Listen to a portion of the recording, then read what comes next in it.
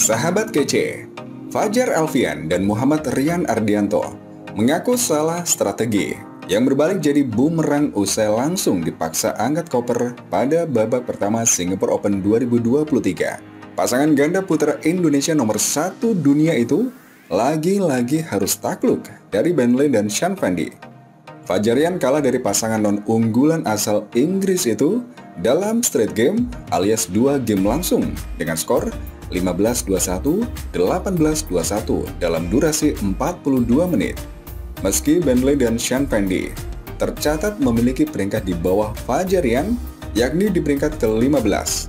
Tetapi mereka sampai saat ini menjadi lawan yang menyulitkan dua Fajri. Kekalahan hari ini membuat Fajarian bahkan sudah makin tertinggal dalam catatan head-to-head -head melawan Lin dan Fendi, yakni menjadi 1-3.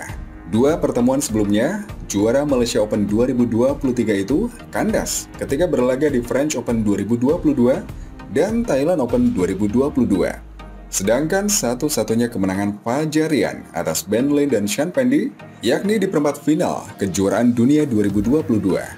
Hasil tersebut mau tak mau bakal semakin menyudutkan Fajarian sebab sejak memenangi gelar bergengsi All England Open 2023 mereka masih belum mampu meraih gelar juara lagi.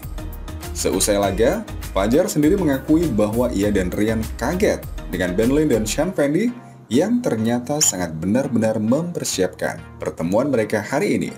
Taktik lawan pun berjalan lancar, sementara Fajar yang justru gagal mengambil alih kendali permainan.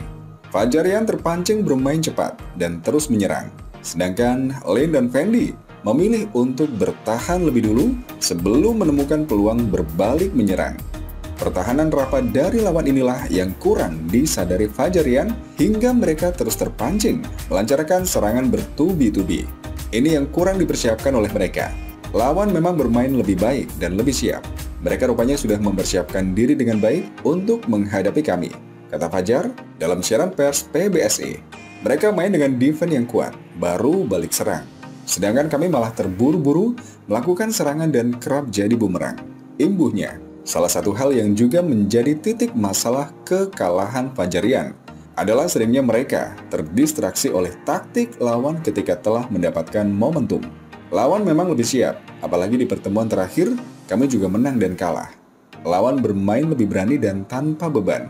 Mereka sangat menyiapkan strategi. Saat kami lagi dapat poin, lawan meminta break, kata Fajar. Sementara itu, Rian mengaku kecewa dengan kekalahan hari ini. Apalagi ini adalah kekalahan kedua secara beruntun yang mereka dapatkan setelah Malaysia Masters 2023. Sebelumnya, Fajar Rian juga gagal melaju jauh. Kami tentu kecewa dengan kekalahan ini, kata Rian. Sebelumnya, kami juga gagal di Malaysia Masters. Di dua turnamen ini, performa kami kurang bagus, ucapnya.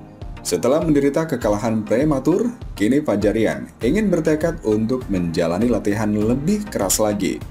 Minggu depan akan ada turnamen besar di rumah sendiri, Indonesia Open 2023 dengan level lebih tinggi, Super 1000. Setelah kalah, evaluasi untuk bangkit adalah kami harus melakukan latihan yang lebih keras lagi agar hasil di turnamen selanjutnya lebih baik lagi, ucap Fajar bertekad. Saya ingin mengembalikan performa dulu, agar bisa lebih fresh dan bisa main lebih baik lagi. Untuk menghadapi kejuaraan selanjutnya, evaluasi kami harus meningkatkan faktor mental, fisik, dan juga rasa percaya. Selain itu, kami juga harus bisa main lebih enjoy. Sahut Rian. Kami sebenarnya tidak memikirkan soal turnamen ini menjadi kualifikasi menuju Olimpiade Paris. Kata Fajar, kami tidak terbebani, kami hanya ingin performa lebih konsisten dan bisa tampil lebih baik di setiap pertandingan. Pungkas Fajar